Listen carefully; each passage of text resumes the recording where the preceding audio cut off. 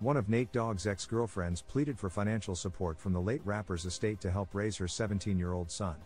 According to court documents obtained by RadarOnline.com, Shereda Williams, the mother to Nate's son Jayden, said she makes around $2,500 per month. Shereda said the minor's expenses have increased annually. Her lawyer said, after paying her own basic needs of food, clothing, and shelter, she has no money for the needs of the minor that includes school supplies, travel expenses, basketball camp, clothing, and a host of other miscellaneous expenses incurred for the minor as he is a senior in high school scheduled to graduate in 2024. Jayden will turn 18 on April 8, 2024. As RadarOnline.com first reported, earlier this year, Shereda claimed Nate had been ordered to pay her $4,358 per month in child in 2006.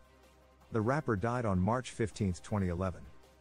In 2013, the court approved Shereda being paid $3,000 per month from Nate's estate for child support. In her recent filing, Shereda claimed there was a mistake with the paperwork and she's at risk of being cut off from the support. Shereda pleaded with the court to sign off on the child support payments being paid to her. A judge has yet to rule. Following his death, Nate's family fought over his estate.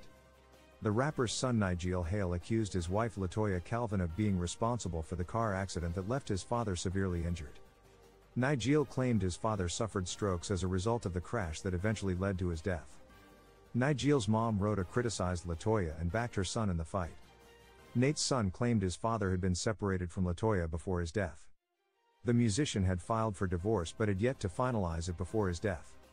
The estate was worth around $350,000 but only $200,000 was distributed to his children after debt was paid off. Recently, Latoya demanded a judge sign off on Nate's music catalog being sold off.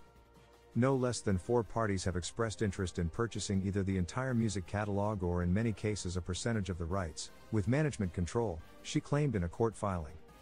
She continued, the latter option in particular, in addition to full sale options, should be explored, because she is informed and believes it would both yield substantial immediate case for all the heirs, but also involve a better ongoing professional management team which should improve and increase the performance of the remaining unsold income producing shares that are not sold for all the heirs.